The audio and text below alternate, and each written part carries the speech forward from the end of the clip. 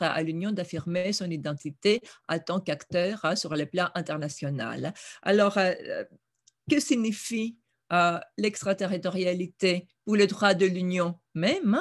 Cette première question une approche globale de la question nous sera présentée par euh, Lydia Lebon, euh, qui émet des conférences euh, à l'Université de Bordeaux et qui a consacré sa thèse de doctorat à l'extraterritorialité. Donc, Lydia, vous avez la parole. Je vous remercie, Madame la Présidente. Je ne sais pas si on m'entend bien. Oui. merci beaucoup, Madame la Présidente. Alors, je vais me permettre de rectifier deux petites choses. Donc, je suis maître de conférence à l'Université Bordeaux-Montaigne, même si je suis rattachée au Centre de recherche et de documentation européenne internationale de l'Université de Bordeaux.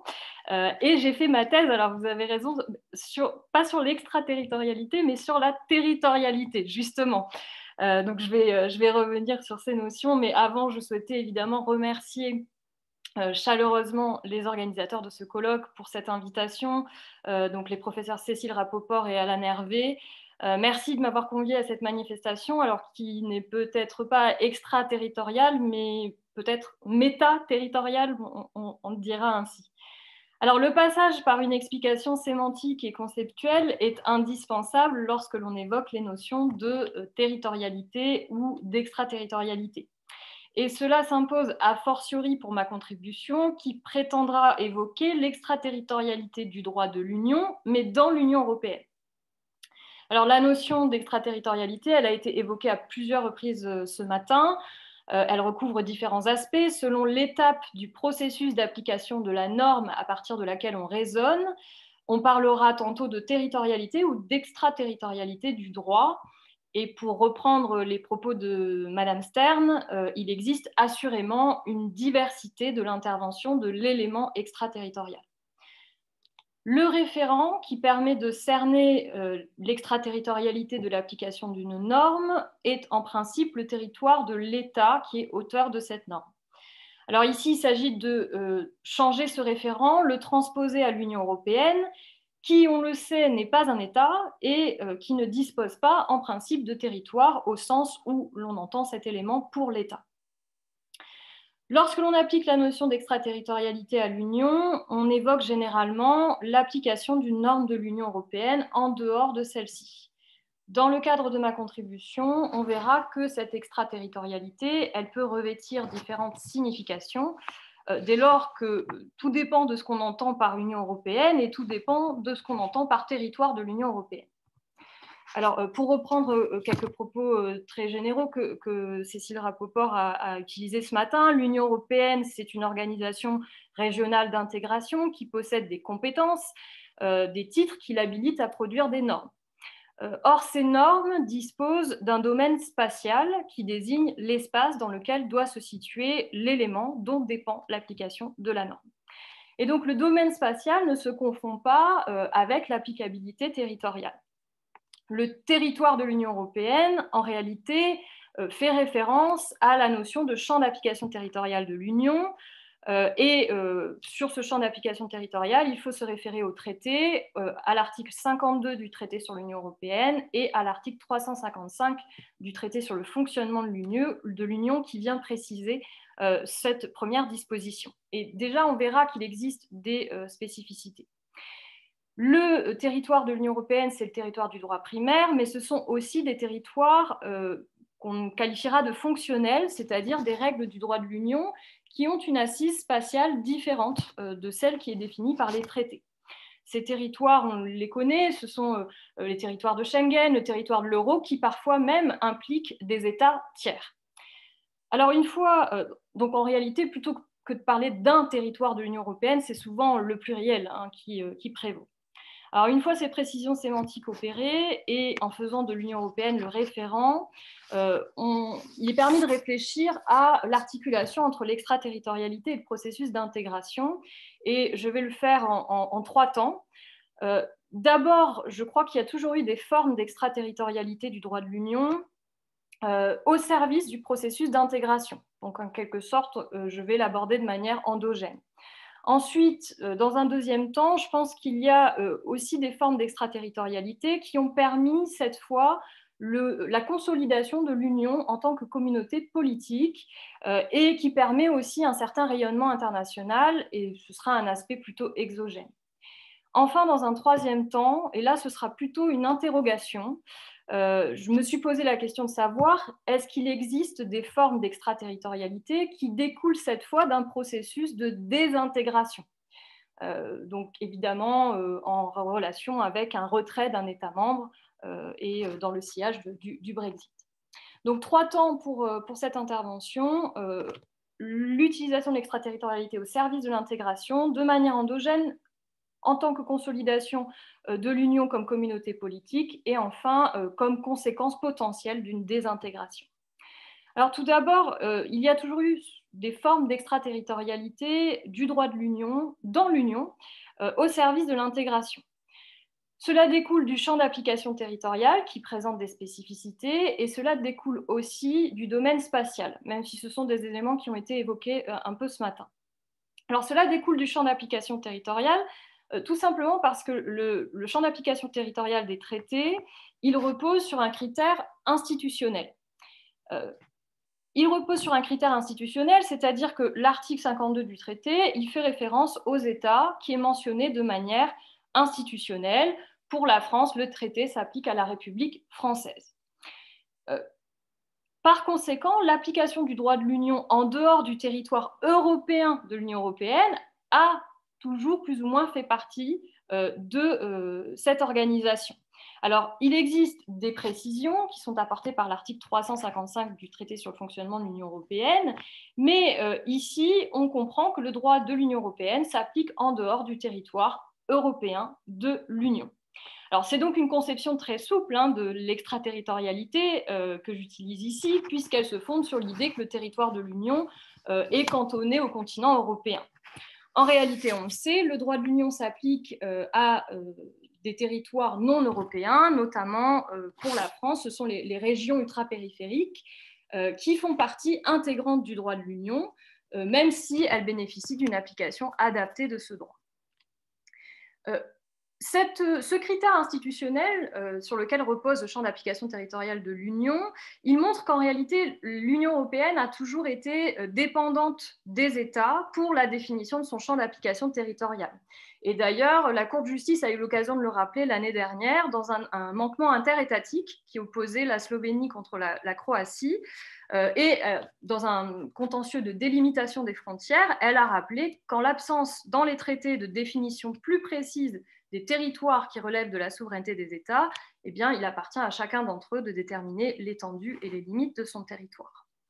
Alors, si l'Union, elle est dépendante des États pour la délimitation de son champ d'application territoriale, en revanche, elle maîtrise certainement son domaine spatial. Elle maîtrise le champ spatial de ses normes ainsi que leur interprétation. Et là se développe une autre forme d'extraterritorialité qui a été évoquée ce matin, euh, le fait d'appréhender des éléments situés hors du territoire de l'Union. Euh, c'est plutôt le juge, hein, d'ailleurs, qui a euh, utilisé cette technique, ainsi que l'a rappelé Frédéric Michéa. le législateur est peut-être un peu plus frileux en la matière. C'est la Cour de justice qui, le plus souvent, a opté pour cette appréhension. Alors, on le constate euh, assez euh, rapidement, hein, dans les années 70, euh, la libre circulation des travailleurs, qui pourtant, selon les, termes du traité, est assurée à l'intérieur de l'Union européenne, eh elle est étendue à des situations qui se déroulent au-delà des limites du territoire européen. Dès lors, cependant, que ces situations disposent d'un lien de rattachement suffisamment étroit avec le territoire de la communauté. Euh, c'est le principe qui est posé dans les arrêts Walrave, Prodest ou encore. Euh, et cette applicabilité des dispositions relatives à la libre circulation des euh, travailleurs à l'extérieur du territoire de l'Union, elle permet d'assurer eh qu'un travailleur ne sera pas entravé dans l'exercice de sa liberté de circulation à l'intérieur de l'Union. Cette euh, appréhension d'éléments situés hors du territoire de l'Union européenne, on la retrouve dans d'autres matières et cela a été dit euh, à, plusieurs reprises ce matin. Euh, la finalité, en réalité, c'est l'efficacité, l'effet utile des règles du marché intérieur. Alors on retrouve cette interprétation en matière environnementale notamment pour la directive 2801 hein, qui a pu être évoquée ce matin et qui a été interprétée comme s'appliquant, donc la directive 2801 sur le système européen de, de quotas d'émissions de gaz à effet de serre, qui a été interprétée comme s'appliquant aux aéronefs immatriculés dans un État membre ou un État tiers, mais parce que ces aéronefs se trouvent physiquement sur le territoire d'un des États soumis à la juridiction de l'Union. En matière de concurrence également, on sait que cela aboutit à une extension de l'applicabilité des normes au-delà du territoire de l'Union à travers euh, deux critères, le critère de la mise en œuvre d'une pratique anticoncurrentielle sur le territoire de l'Union et euh, également le critère des effets qualifiés qui a été euh, consacré par l'arrêt Intel, ça a été évoqué ce matin. Je ne reviens pas sur les solutions qui ont été adoptées en matière de protection des données personnelles, puisque ça a été euh, abondamment euh, évoqué, euh, même si on rappellera que dans l'arrêt Google Spain, pour saisir des traitements opérés par des acteurs extra-européens, eh la Cour de justice a opté pour une lecture assez souple de la notion d'établissement, du lieu d'établissement. Donc, tant par le champ d'application territorial que par l'utilisation de son domaine spatial, eh euh, l'Union européenne a utilisé des formes d'extraterritorialité au service du processus d'intégration. Euh, dans un deuxième temps, je souhaiterais évoquer le fait que euh, ces formes d'extraterritorialité, d'autres formes d'extraterritorialité, ont permis aussi à l'Union européenne de consolider son identité, sa structure de communauté politique et aussi euh, à contribuer au rayonnement international de cette entité. Alors, j'évoque ici un élément qui a été euh, assez peu évoqué ce matin, mais qui sera peut-être plus évoqué demain. Euh, l'extraterritorialité du, du, droit de l'Union, ou tout à l'heure plutôt, elle peut être fondée sur d'autres types de compétences, comme l'application du principe de personnalité.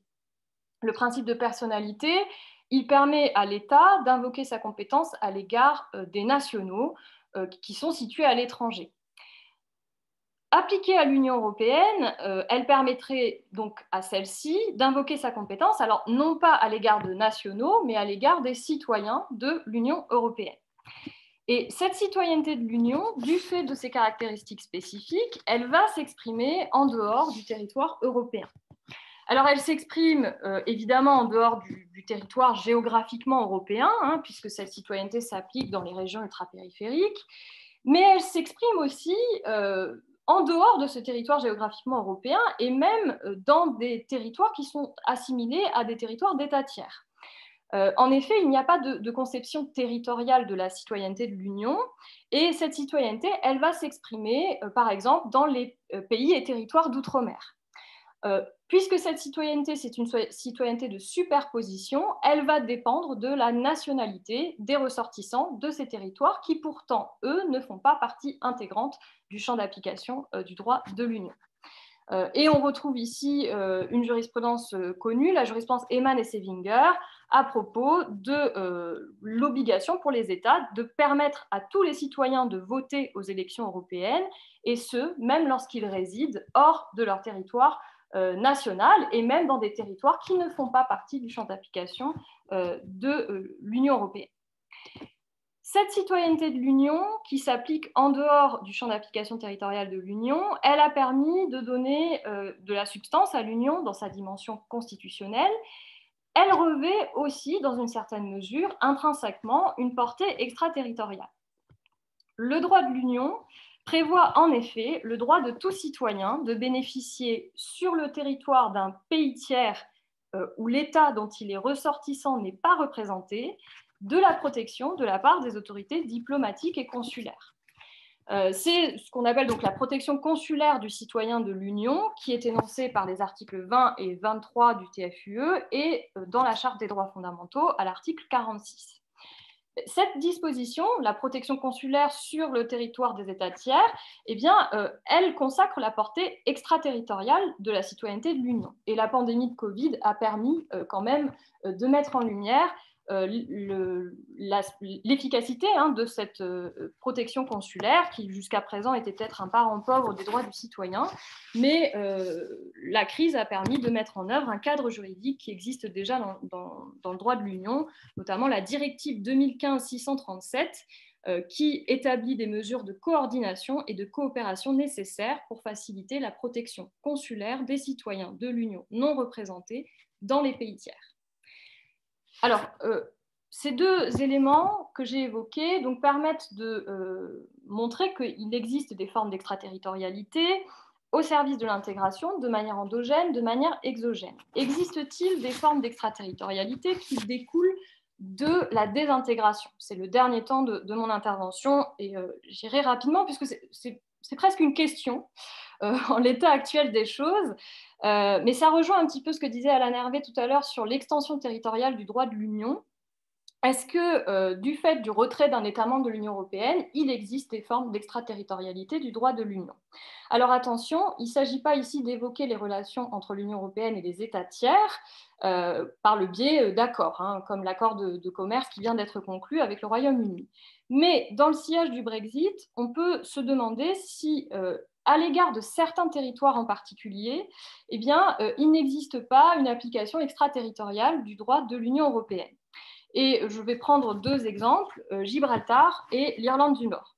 Alors Gibraltar, c'est un territoire qui disposait d'un statut spécifique euh, au sein des traités. Ah, c'est euh, le paragraphe 3 de l'article 355.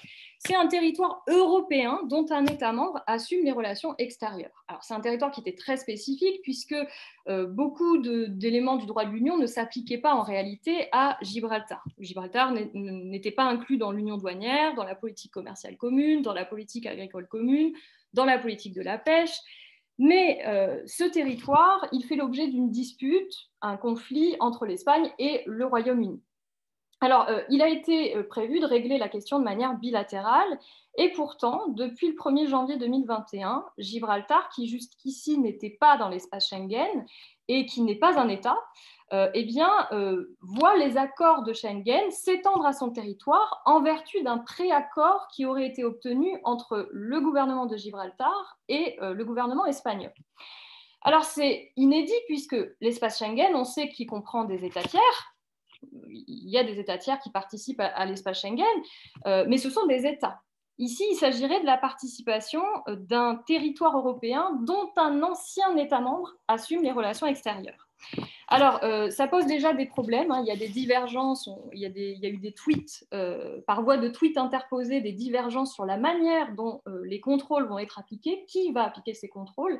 Et là, ça rejoint la, contribution de, Carole Guillet de ce matin, puisque normalement Frontex devrait intervenir, mais en termes d'articulation avec les autorités espagnoles, cela risque de poser problème.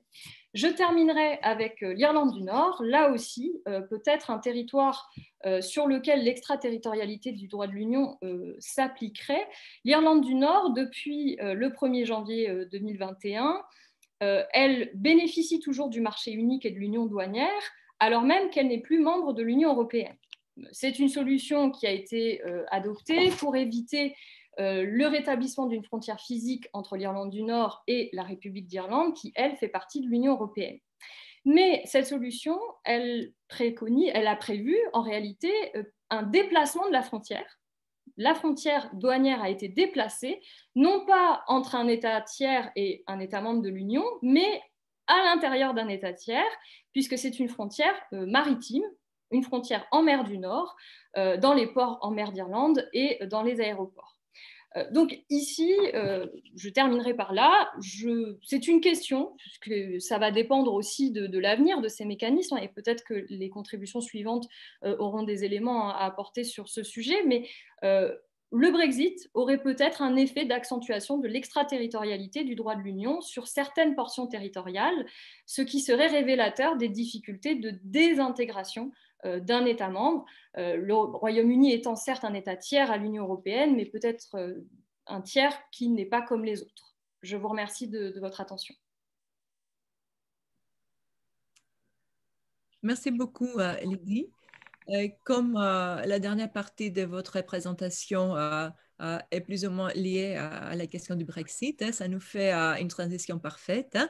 Euh, vers euh, la contribution du professeur Peter Van, Van hein, euh, professeur à l'Université de Gand et professeur invité au Collège de l'Europe, qui nous parlera du rapport entre l'Union européenne et le Royaume-Uni après la période transitoire hein, qui a été marquée par une application spécifique du droit de l'Union, un État, un droit de sortie.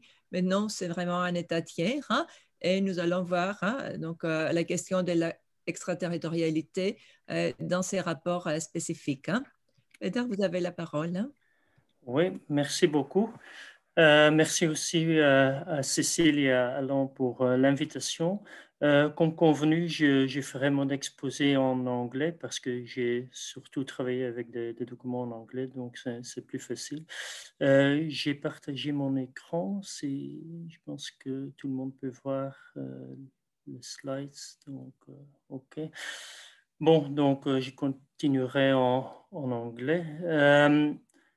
so what I what I wanted to do um, with respect to to my contribution to the the workshop today and also to the, the forthcoming book is to look at the the role of European Union law after Brexit.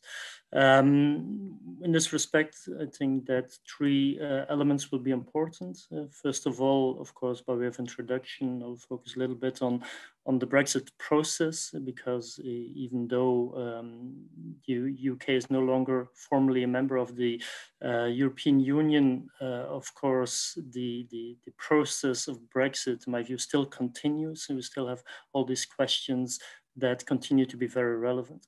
And then afterwards, I'll try to focus on the, the, um, the importance of the withdrawal agreements with respect to the, from the perspective of the extraterritorial application of EU law on the one hand, and then I will deal with the new legal framework, uh, which was recently adopted and which is currently in the process of uh, ratification. So I think I can be very brief with respect to the, the introductory parts of the Brexit process. I think that everybody is fully aware of the, the two-track process as it developed, uh, with on the one hand the discussions on the withdrawal, uh, which resulted in the withdrawal agreement, uh, which was adopted together with the political declaration, uh, and after, let's say, the formal withdrawal of the United Kingdom on the basis of the withdrawal agreement, uh, only then the negotiations could start for a new legal framework, which then resulted in um, the uh, conclusion of negotiations on a, a trade and cooperation agreement together with a number of supplementing agreements. I'll come back on that in a second, uh, but the a lot of attention is paid to the TCA, the Trade and Cooperation Agreement, but this is actually only the core of a broader new framework for relations between the United Kingdom um, and the uh, European Union. So first of all, with respect to the withdrawal agreement uh, that entered into force the 1st of uh, February um, last year, um, that was important because as a result of the entry into force of this agreement, the United Kingdom um, stopped to be, uh, formally speaking, a member of the European Union, but nevertheless it was still bound by the application of EU law. So this was, let's say, a, a de jure full extraterritorial application of EU law during the transitional period, which uh, does not necessarily mean that the withdrawal agreement uh, lost now all its relevance. It still remains a relevant um, part of the uh, EU-UK uh, relations. Um, now, the internal, the domestic uh, legal basis in the United Kingdom with respect to the withdrawal from the European Union is the document called the EU Withdrawal Act, uh, which was adopted already in, in 2018. Um, now, what is important uh, with respect to this withdrawal agreement, uh, that is that in this agreement, we have plenty of references to the continued application of European Union law. And when references are made to the law of the European Union, then it is explicitly provided that the meaning, the interpretation of these provisions shall be exactly the same as the meaning which uh, the uh, relevant provisions have internally in the European Union, including uh, the uh, interpretation given by the Court of Justice, at least uh, with respect to the case law uh, as it existed before at the end of the transition period. And so this let's say, is the, the framework to ensure that we have a full extraterritorial application of the withdrawal agreement, in particular during the uh, transition period.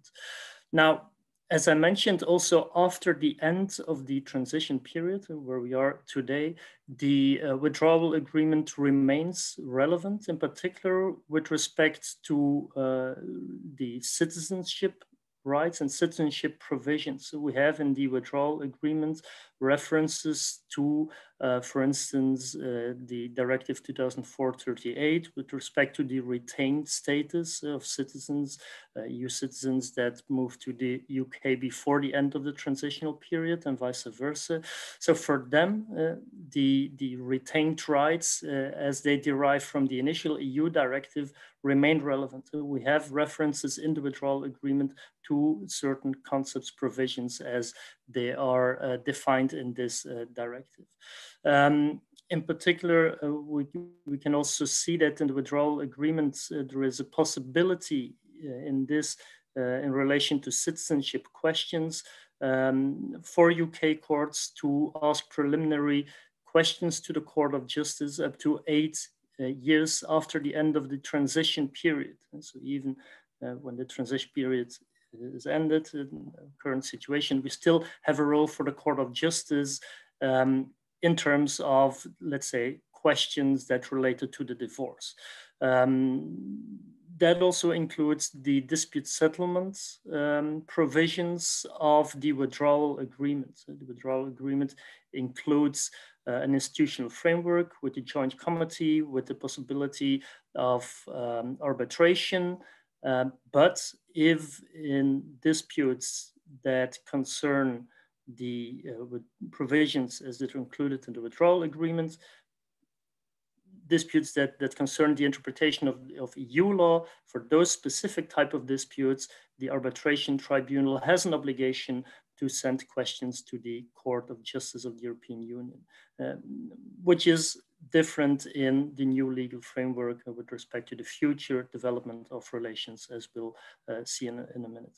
Uh, now, as the previous speaker already referred to, we also have specific provisions in the withdrawal agreement, in particular in the protocol to the withdrawal agreement on uh, the, the border between Ireland and Northern Ireland, where we have in the protocol uh, a reference to an annex. And in the annex, we have a, a, a clear uh, overview of very specific uh, directives, regulations that will remain fully applicable on the territory of Northern Ireland, um, also after the end of the transition period. So that is another very clear example of, I would say, the continued de jure um, extraterritorial application of EU law in uh, at least one part of uh, what is currently a third uh, country. Now, how does this translate then into the, the domestic legal system of the um, United Kingdom? So, well, as I mentioned, we have there the adoption of the EU Withdrawal Act, um, which introduces a new concept in the domestic legal system of the United Kingdom, and that's the concept of retained EU law.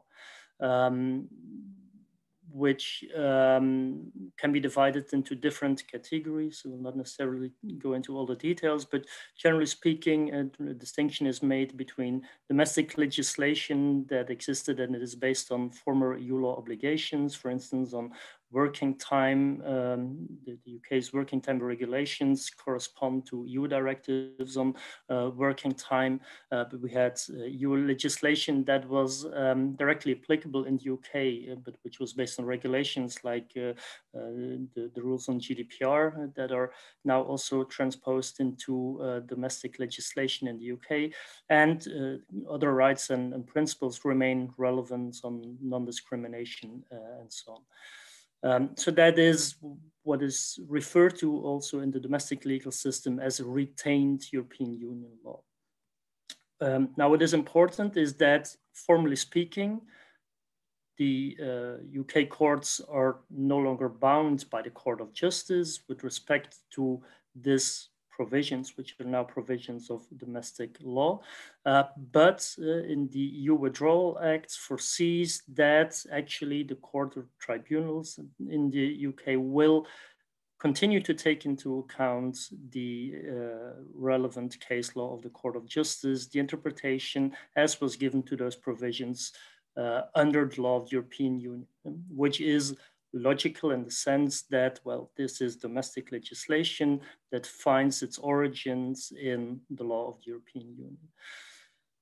Of course, there can there will be kind of gradual, or can expect a gradual divergence that will emerge. Um, so there it is uh, also provided that courts will gradually be able to depart from the retained EU case law um, which can be done in the first place by the Supreme Court, uh, the High Court of Judiciary in uh, Scotland, um, where they must uh, apply their, their own domestic rules uh, on uh, departing from previous case law.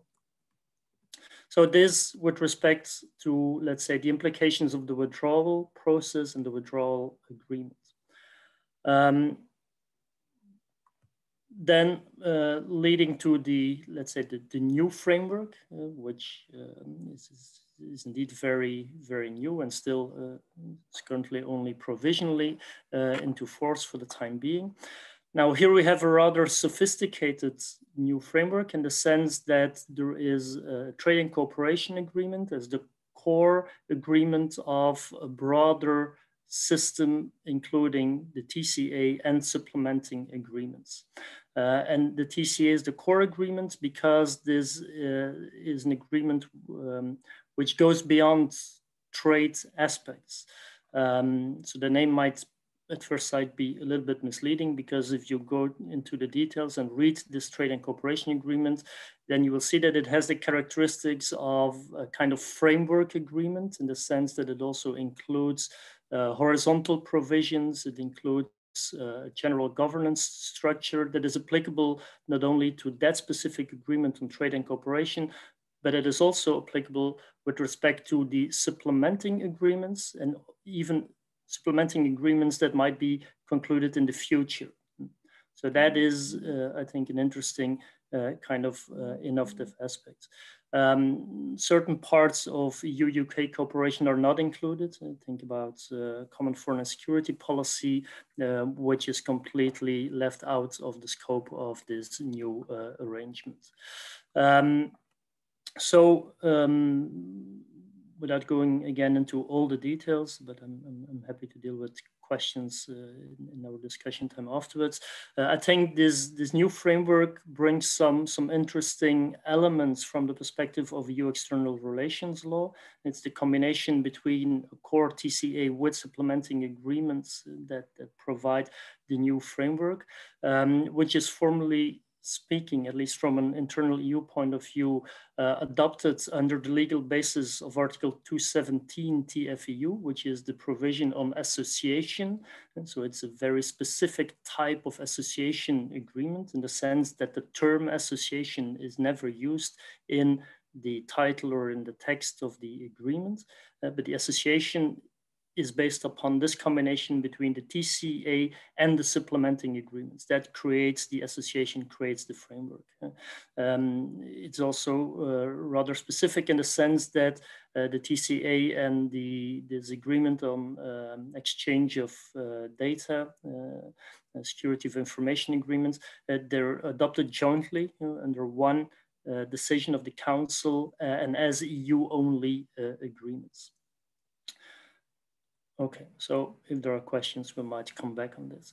Now, what is relevant from the perspective of the conference and the topic of extraterritorial application of EU law is that the approach here is completely different in comparison to the approach in the withdrawal agreement. Because in the withdrawal agreement, the approach is that this is essentially based upon the law of the European Union. We have plenty of references to a continued application of EU law after Brexit. Now, the approach of the TCA is entirely different. So We have no references to EU law uh, to the country. We have a very explicit reference to public international law. And one of the first uh, common provisions, Article 13 of the common provisions, that is explicitly mentioned, that this is an agreement uh, which is to be interpreted under the traditional rules of public international law, and that UK is no longer bound by EU law or the case law of the Court of Justice. Um, there is also a new institutional framework uh, and dispute settlement mechanism with a little bit uh, parallel to what exists uh, in, in, the context of WTO with, with uh, different stages and the possibility to have uh, retaliation uh, measures uh, as part of this process and specific procedures to guarantee what is called as the, the level playing field. So the approach is essentially that um, or, or, let's say the challenge of this new framework will be to cope with divergence, to, to manage increasing divergence. So this is an entirely new approach to what we're used to, uh, because usually all agreements include provisions on legal approximation. Here we have provisions on coping with divergence, uh, because one will can expect that gradually the rules will be more and more uh, divergent, starting from a common uh, position as we have it uh, right now. So that means that new provisions are included so where the parties are allowed to adopt rebalancing measures. this is to keep the divergence within certain limits, uh, including uh, new procedures. Uh, again, I will not go into the details here. Um, but what is important is that these new procedures aim to guarantee the so-called level playing field. Um, and in this um, chapters of the agreement, uh, we find also references to what we could see as common lowest common denominators. That means references to international commitments. Um, there is an explicit reference, for instance, to the objective of climate neutrality by uh, 2050, a reference to the Paris Agreement. So that is also a way to proceed in uh, EU-UK uh, relations. So that brings me to the preliminary conclusions, um, where I think a distinction can be made between different forms of extraterritoriality. On the one hand, we have the what I would call the de jure let's say, pure form of extraterritorial application of EU law, which is essentially based on the withdrawal agreement. Um, there is what we could call also a kind of de facto extraterritorial application of EU law as a result of this status of retained EU law in the United Kingdom and, and the, the, the provisions as they're included in the uh, um, UK Withdrawal Act. Um, and uh, to a certain extent, uh, that perhaps cannot be called proper extraterritorial application, but at least some um, influence of EU rules on the domestic legislation in the uh, United Kingdom uh, due to the fact that, well, the European Union also plays an important role in setting international standards, uh, which was what's sometimes referred to as the so-called Brussels effect, that the EU is trying to export its own norms into the international level. Now, through the fact that EU-UK relations also refer to this international level, to the international commitments. We could call that a kind of extraterritorial influence, uh, at least through the back door. So uh, these are, let's say, my preliminary conclusions where I think different types of uh, extraterritorial um, application of EU law or extraterritorial influence, at least of EU law, can be distinguished. Yeah. Thank you, and always happy to ask to to answer any kind of questions or remarks.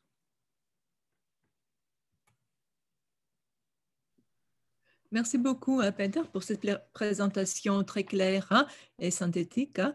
Euh, sûrement, il y a de nouvelles questions hein, qui commencent à se poser, même si nous avons beaucoup discuté du Brexit pendant la période transitoire. Euh, là, nous voyons vraiment des questions, euh, même euh, le manque de, l'absence de base juridique dans les traités pour discuter et traiter de nouvelles questions. Donc, je pense qu'il y aura un débat sur cette question plus tard. Hein. alors, maintenant, nous allons voir hein, comment l'extraterritorialité matérielle hein, interfère avec une question politique. Euh, qui est euh, la non-reconnaissance, non entre parenthèses, hein, euh, de Chypre du Nord. Hein? Et je donne euh, la parole à mon collègue, Thierry Garcia, euh, internationaliste d'origine. Euh, je ne sais pas dans quelle mesure maintenant vous êtes devenu un spécialiste du droit de l'Union, mais en tout cas, vous allez nous donner votre point de vue d'internationaliste. Exactement, c'est ce que nous attendons, donc l'interaction entre le droit de l'Union et le droit international.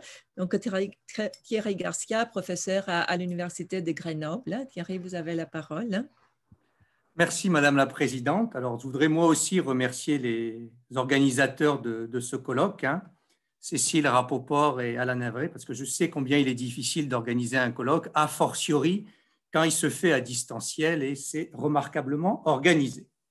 Alors, je ne vais pas m'étendre sur la définition de l'extraterritorialité qui a déjà été euh, longuement débattue, et je dirais qu'une norme est extraterritoriale si au moment où elle opère, elle prétend régir des conduites, statuer sur des situations ou prendre en considération des faits extérieurs au territoire, hein, d'après la définition de Mathias Audit.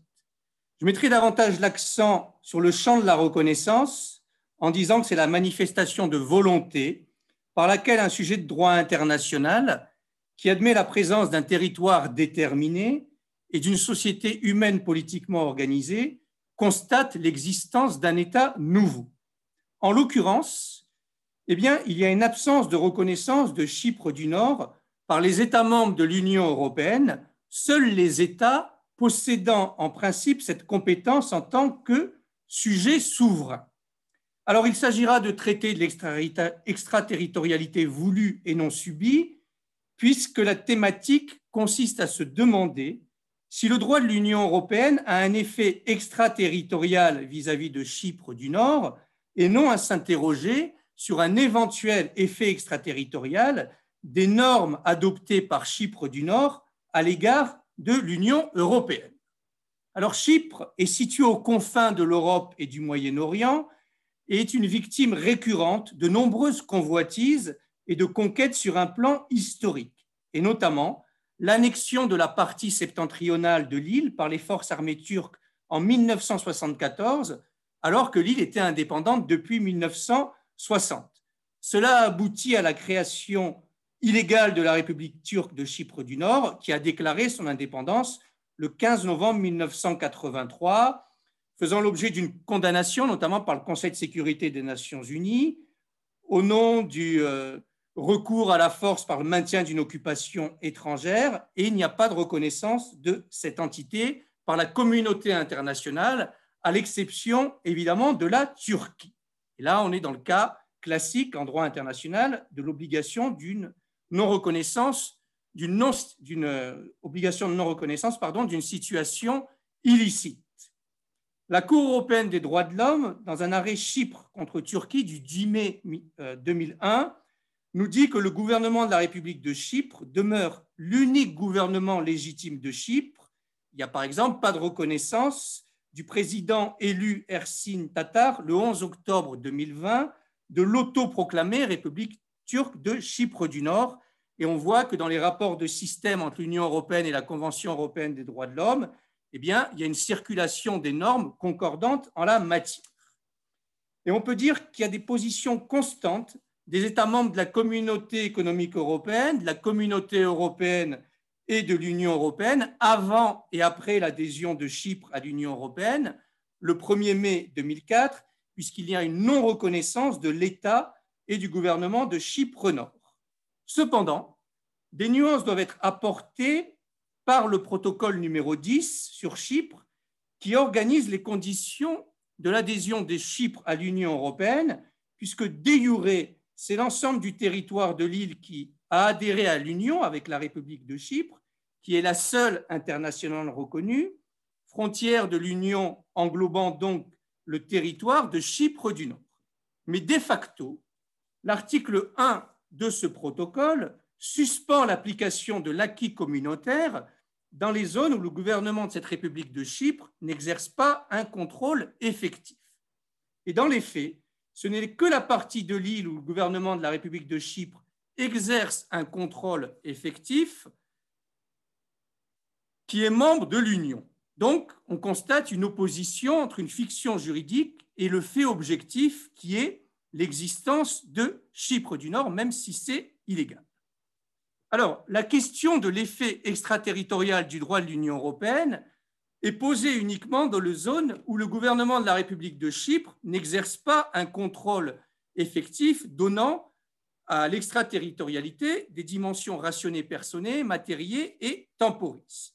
Et on va faire une distinction entre le droit institutionnel et le droit matériel de l'Union européenne au regard de la question de la non-reconnaissance de Chypre du Nord à la lumière de l'extraterritorialité.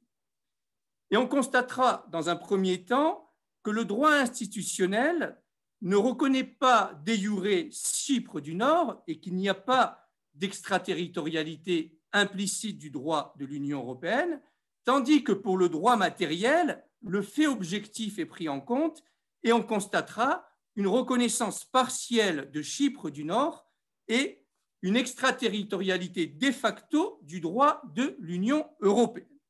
Premier volet donc de ma communication, eh bien, le droit institutionnel de l'Union européenne ne reconnaît pas de jure Chypre du Nord et il n'y a pas d'extraterritorialité implicite du droit de l'Union européenne. Qui ne reconnaît pas Chypre du Nord? Alors, sur le plan de la politique juridique, il y a une incompétence de l'Union pour se substituer à ses États membres en tant qu'auteur de reconnaissance d'État, cette compétence, comme je l'ai dit, étant inhérente à la souveraineté des États. Et c'est vrai aussi pour la non-reconnaissance d'une entité en tant qu'État. Toutefois, il faut souligner l'influence négative de l'Union européenne à la contestation de l'entité Chypre Nord. Et on note à cet égard une, une action au soutien de l'intégrité territoriale de Chypre et une négation subséquente de toute légitimité à l'entité de la République turque de Chypre du Nord. Quant aux institutions politiques, le Conseil, la Commission et le Parlement européen, eh bien, elles n'ont pas de compétences pour se prononcer sur la, la question de la reconnaissance d'État et du gouvernement de Chypre du Nord, mais il y a une incitation à ne pas les reconnaître. Quant aux États membres, eh bien, le traité d'adhésion de, Chypre à, l'Union européenne constitue un traité, certes, de nature plurilatérale, liant Chypre à chacun de ses États membres, et donc il y a un soutien de ceux-ci, et non de l'Union européenne à l'intégrité territoriale de cet État, dans une optique de réunification de l'île, mais il faut noter qu'il y a un aval du Conseil et du Parlement européen à cette adhésion. Alors sur le plan de la politique judiciaire maintenant, eh bien, on note une jurisprudence constante de la Cour de justice de l'Union européenne pour la suspension de l'application de l'acquis communautaire, notion fixe à contenu variable par excellence, dans les zones où il n'y a pas un contrôle effectif de la République de Chypre. Toutefois, un arrêt de la Cour de justice de l'Union européenne du 28 avril 2009, Apostolides, a admis la reconnaissance et l'exécution par la juridiction d'un État membre, le Royaume-Uni en l'occurrence, d'une décision rendue par la juridiction de la République de Chypre concernant une zone non contrôlée par son gouvernement. Et cela nous conduit à examiner le droit matériel de l'Union européenne qui repose sur une reconnaissance partielle de Chypre du Nord et une extraterritorialité de facto de ce droit. Deuxième volet de ma communication, le droit matériel de l'Union européenne eh reconnaît partiellement Chypre du Nord et il existe une extraterritorialité de facto du droit de l'Union européenne prenant en compte le fait objectif. Alors, deux types de domaines peuvent être euh, distingués. Alors d'abord, s'agissant des activités économiques et commerciales, avant et après que Chypre soit membre et était membre de l'Union européenne, eh on note une évolution de l'approche suivie par les institutions de l'Union européenne. Et plusieurs aspects économiques et commerciaux sont concernés. D'abord et principalement les marchandises avec la question des certificats phytosanitaires. Et là, on note une inflexion de la jurisprudence de la Cour. D'abord, il y a une ordonnance de la, Cour de, justice du 13 juin 1991 qui nous dit que le seul gouvernement reconnu est celui de la République de Chypre et que les produits, agrumes, pommes de terre, végétaux, circulant sous couvert d'un certificat phytosanitaire venant de la partie nord de Chypre ne sont pas conformes s'il n'y a pas la mention République de Chypre sur le certificat. Mais c'est surtout la jurisprudence Anastasiou en trois volets qui marque une évolution de cette jurisprudence. Alors le volet 1, c'est un arrêt du 5 juillet 1994 et la Cour nous dit que sur la base de l'accord d'association de 1972 entre la communauté économique européenne et la République de Chypre, eh bien, le droit communautaire s'oppose à ce qu'un État membre autorise l'importation de produits accompagnés de certificats de circulation phytosanitaire délivrés par les autorités de partie Chypre du Nord.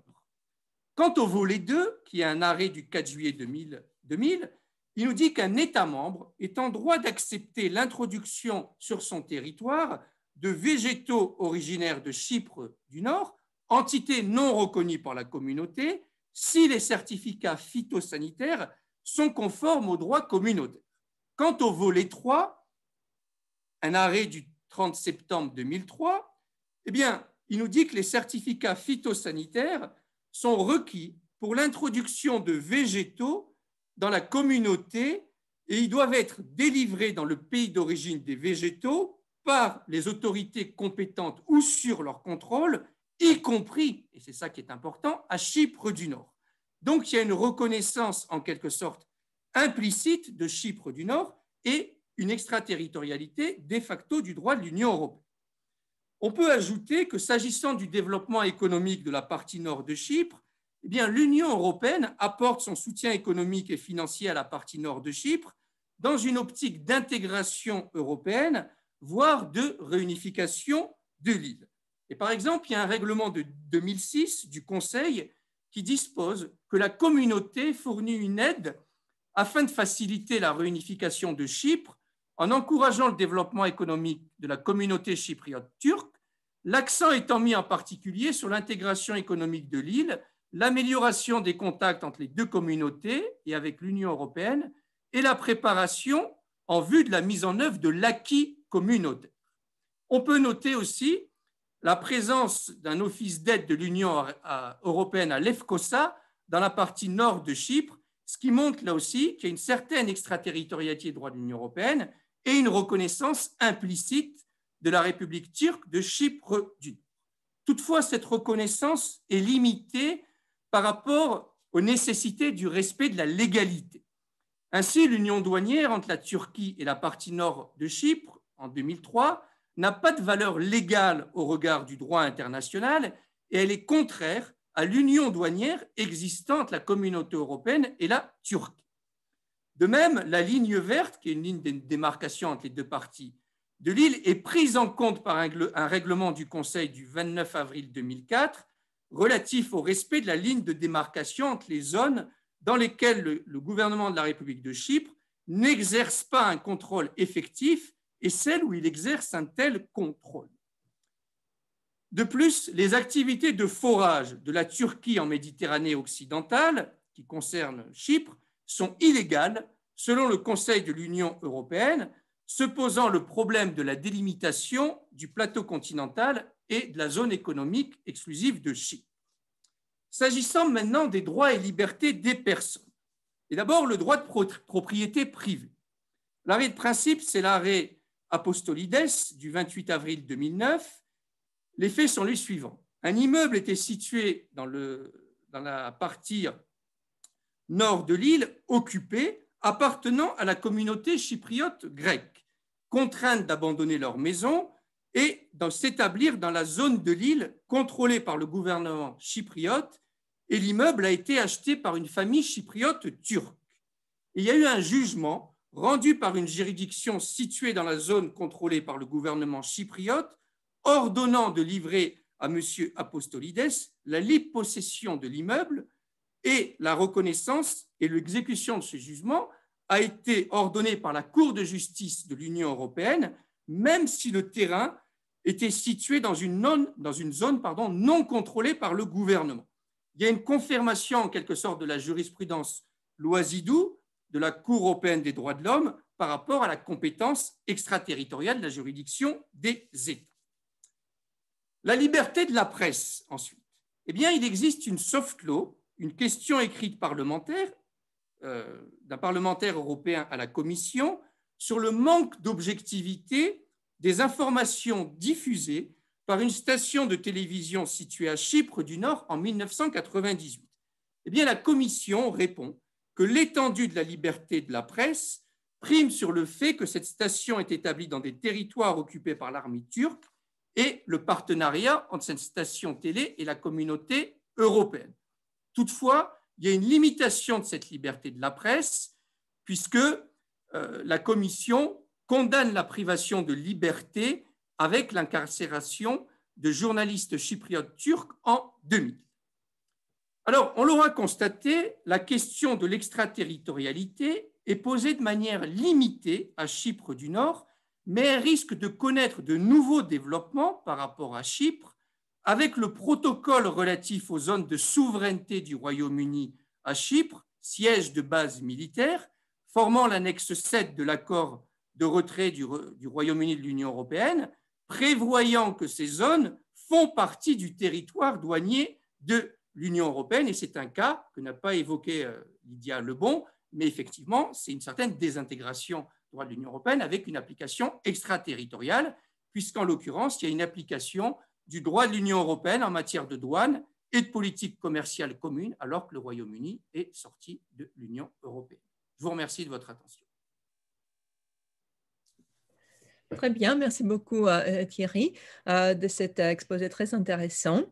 Euh, alors, avant de, donner la parole à la salle, si je peux me permettre, je voudrais aussi ajouter un autre cas qui n'a pas été évoqué. Il est assez spécial, celui de l'espace économique européen, parce que là aussi, nous, nous pouvons constater une extraterritorialité territorialité en partie euh, non voulue, ou en tout cas, il y a euh, l'exportation du droit du marché intérieur qui est voulu par euh, l'accord sur l'espace économique européen, mais l'objectif de l'accord hein, d'homogénéité était là, qui euh, a des conséquences euh, sur euh, l'élargissement des normes ou des principes qui sont applicables, hein, avec un arrêt récent qui, qui, illustre justement cette situation hein, du 2 avril 2020 quant à la, à la demande d'extradition de la part de la Russie en Croatie d'un ressortissant islandais. Et là, on voit que la Cour de justice a répondu à, à la, au juge croate que euh, les ressortissants de l'espace économique européen doivent être traités de la manière que les ressortissants européens quant aux demandes d'extradition et la protection de leurs droits fondamentaux. Et surtout, on voit l'extraterritorialité du principe de confiance mutuelle hein, euh, entre la Croatie et l'Islande. Euh, donc, cet objectif d'homogénéité, on avait aussi d'autres exemples quant à, l'application par analogie des dispositions de la directive sur la citoyenneté, qui normalement ne s'applique pas, mais qui a, été appliqué par analogie afin de euh, favoriser la réalisation de l'objectif hein, d'homogénéité euh, dans la libre circulation des travailleurs. Et la Cour euh, de l'AEL avait admis la les droits de séjour hein, d'un ressortissant d'État tiers à l'espace économique européen en Norvège, hein, donc qui n'était pas euh, voulu dans l'accord hein, espace économique européen qui vise à, l'application extraterritoriale des règles précises hein, du marché intérieur, mais qui, ne peuvent pas forcément être dissociées d'autres règles et principes hein, qui, euh, de facto, euh, sont amenés d'être appliqués, même si ce n'est pas explicitement prévu dans, l'accord. donc, alors, je vous invite à poser des questions directement. Alors, euh, je ne vois rien pour le moment sur euh, euh, la partie du dialogue. donc, peut-être vous pouvez utiliser la fonction lever la main.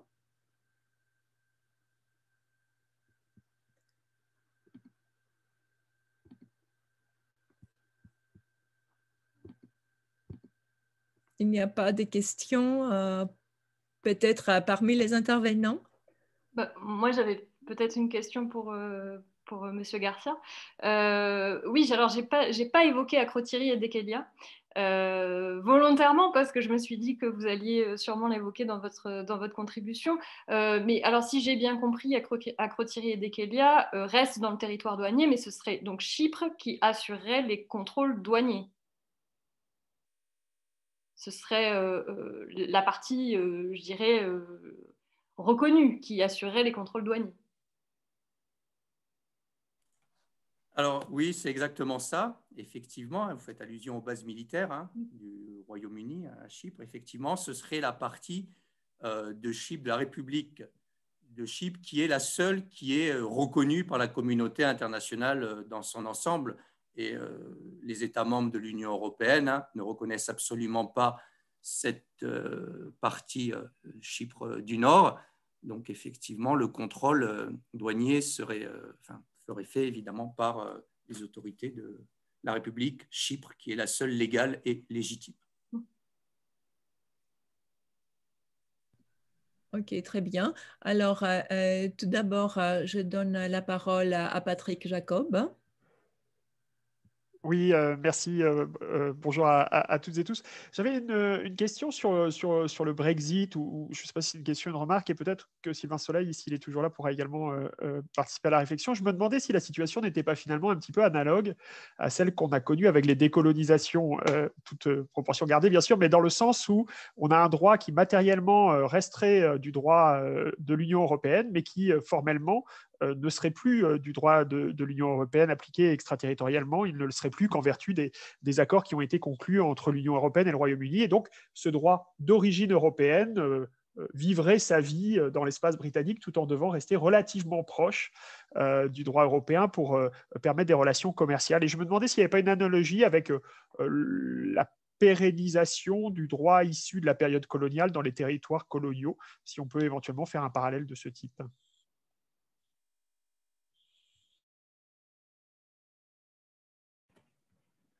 Euh, oui, merci beaucoup pour euh, cette remarque. Je, pense que c'est un angle assez intéressant à, analyser. Je, je, dois dire que je ne suis pas une experte concernant euh, cette période de décolonisation. je ne suis pas sûr, je ne suis pas convaincu que, c'est vraiment le même processus, euh, étant donné aussi que la situation euh, aujourd'hui est, différente dans le sens que qu'on a eu beaucoup d'évolution dans, dans, le droit de, de l'Union européenne. Donc, euh, c'est plus la période d'une intégration uniquement économique. Donc, c'est plus compliqué en tout cas. Mais bon, c'est une, c'est une c'est quelque chose à, vérifier. Merci. Alain a aussi une question en rapport avec euh, le sujet?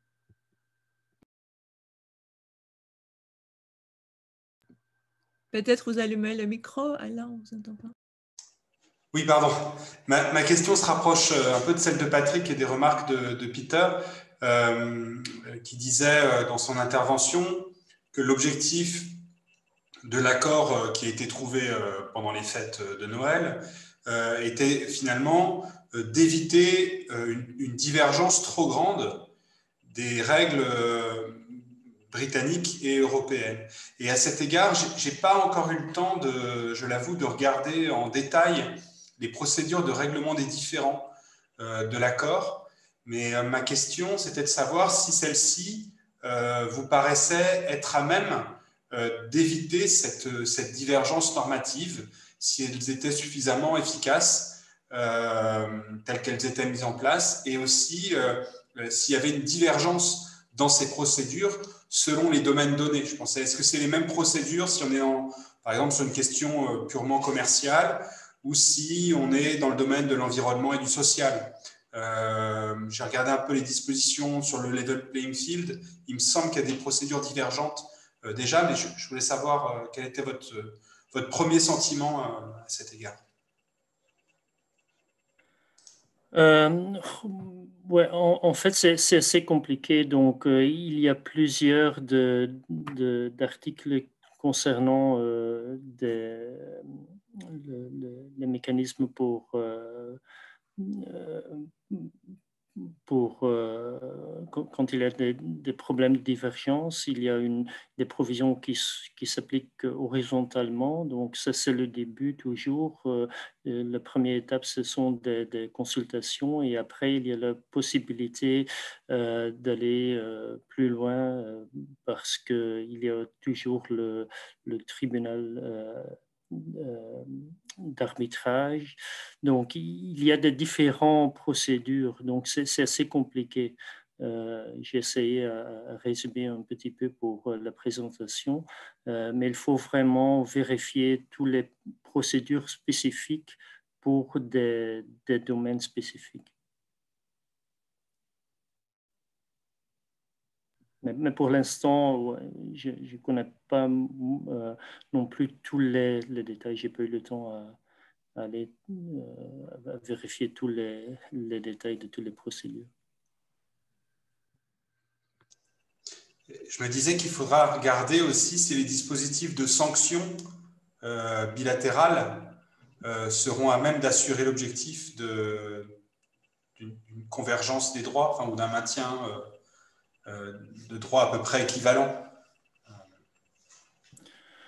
Oui, euh, oui, il y a la, possibilité de sanctions, euh, mais ce qui est intéressant, c'est donc une des parties peut, a la possibilité d'introduire des, sanctions, mais après une procédure de consultation et euh, il y a toujours la possibilité pour l'autre partie de demander euh, au tribunal d'arbitration de, vérifier si les conditions euh, sont respectées. Donc, il y a des conditions spécifiques dans le traité et ce concerne des conditions de, de, la proportionnalité, par exemple.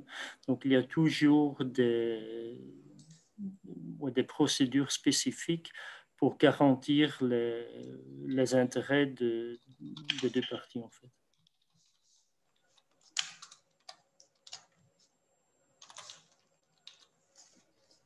Alors, euh, il y a encore une question euh, en lien avec euh, la précédente. Je pense qu'elle est adressée à, tous. Donc, peut-être à Sylvain Soleil, vous voulez adresser votre question? Merci. En fait, ce n'est pas une question, c'était juste pour euh, rebondir sur euh, la remarque de Patrick. J'indiquais juste pour avoir travaillé récemment lors d'un congrès sur la question de euh, la conservation du droit dans un territoire qui devient indépendant, qu'effectivement, dans la plupart des pays qui sont en décolonisation, dans la seconde partie du XXe siècle, l'idée principale, c'est de conserver le droit ancien, soit par des mécanismes constitutionnels, conventionnels et surtout législatifs. Je pense à la Côte d'Ivoire que je connais particulièrement. Hein. Par des lois, on, décide de conserver tout le droit français parce que l'idée principale, c'est de conserver une relation diplomatique apaisée et des crédits et de la coopération. Voilà. Et en ce sens, ça fait un peu écho à ce que j'ai entendu euh, de l'intervention de, de Peter. Très bien, merci. Euh, Isabelle Bosplatière a une question? Oui, merci. Bonjour à tous. J'ai une question pour, euh, Peter. Euh, alors, je suis désolée, je vais sortir un peu de la question de l'extraterritorialité, mais comme on a la chance d'avoir Peter avec nous, qui est quand même un des meilleurs spécialistes de l'association, je, voulais savoir, je profite pour poser ma question, je voulais savoir en fait quelle lecture tu faisais, Peter, de l'utilisation de l'article 217 comme base juridique pour, euh, pour l'accord, euh, notamment au regard de, la dénomination de l'accord et euh, des autres bases juridiques qui, qui, auraient pu être mobilisées. Et alors, évidemment, sous réserve du fait que, pour autant que je sache, le, toilettage et tous les éléments juridiques de l'accord ne sont pas complètement stabilisés. il y a encore des, choses qui peuvent évoluer du strict point de vue du cadrage juridique de l'accord. Mais, mais, voilà, j'aurais voulu savoir en fait quelle lecture tu faisais de l'utilisation de l'article 217. Merci. Oui. Euh, je pense que c'était un, un, choix qui était assez pragmatique euh, dans, dans, le sens que le, concept d'association est très flexible. Donc, euh, ça, ça veut dire qu'on a pu éviter des, discussions plus spécifiques concernant ou, des discussions euh, potentiellement très compliquées concernant les, bases juridiques plus spécifiques. Je pense que c'était acceptable pour les États membres parce qu'on a euh, la condition de l'unanimité euh, pour quand on a cette base juridique. Donc, je pense que ça, c'est une, une, des raisons pour lesquelles c'était acceptable pour surtout pour les États membres, donc la condition de l'unanimité. Il, il, a quand même un, précédent dans les relations avec la Suisse. Je me souviens qu'on a eu les, bilatéraux 1, donc les sept accords sectoriels qui était euh, adopté sur, sur la base de, de l'association. Euh, et euh, un peu comme, comme elle est quand maintenant, il n'y a aucune référence au nom association dans la relation avec la Suisse. Donc, c'est une, je pense c'est un choix, un choix assez pragmatique pour, pour éviter des, des discussions euh, difficiles entre les institutions, entre les États membres. Et l'avantage de ce bas juridique, c'est que c'est très flexible. Donc l'association, c'est pas très clairement euh, défini dans les, dans les traités. Euh, et le fait qu'on a des provisions horizontales dans l'accord de donc le TCA, donc ça explique pourquoi c'était possible d'avoir cette euh, base juridique, parce que ce n'est pas seulement un accord concernant euh, les, aspects commerciaux, ça va plus loin.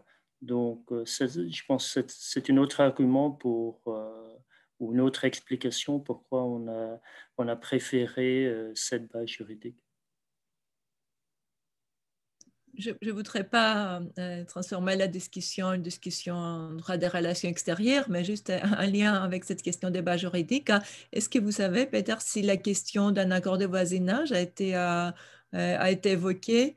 Est-ce que c'est une occasion manquée ou peut-être c'était délibéré pour ne pas donner une première application de ce concept dans une situation fortement spécifique? Euh, si je le comprends bien, tu, euh, veux dire l'article 8 euh, du traité? Oui, donc il n'y a aucune référence à l'article 8. ce, qui est, intéressant, c'est dans, dans, une des premières provisions du nouvel accord, il y a une référence, donc le, texte de, de, cet article est plus ou moins un copy-paste de l'article 8. Euh, il y a un article concernant les objectifs en général, c'est d'avoir de, bonnes relations de, voisinage. Mais l'article 8 euh, pas dans, la base juridique pour euh, la décision du Conseil. L'explication ici, c'est que l'article 217 est, est, est déjà suffisant. Donc, ça n'a pas une, valeur euh, ajoutée. Euh, et surtout parce que l'article 8 ne correspond pas à des, euh, des éléments procéduraux spécifiques, ce qui est le cas pour l'association. Pour l'association, c'est très clair, on a le règle d'unanimité au Conseil. donc ça, c'est une différence importante qui explique pourquoi, je pense, euh, la préférence était de euh, l'article 217.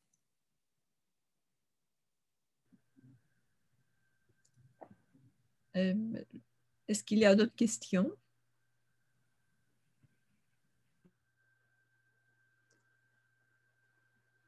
Bien. Eh ben, je ne vois pas d'autres questions. Donc peut-être nous allons s'il n'y a pas d'autres questions, d'autres remarques, hein, euh, remercier les intervenants et euh, prendre une pause. Hein. Merci. Et nous retrouver euh, quelques minutes plus tard. Hein.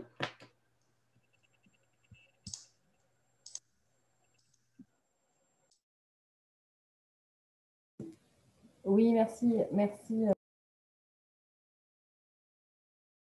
Merci à tous. On, va effectivement prendre euh, quelques minutes de pause. On, reprendra euh, pour le panel suivant à, 15h30 euh, précise.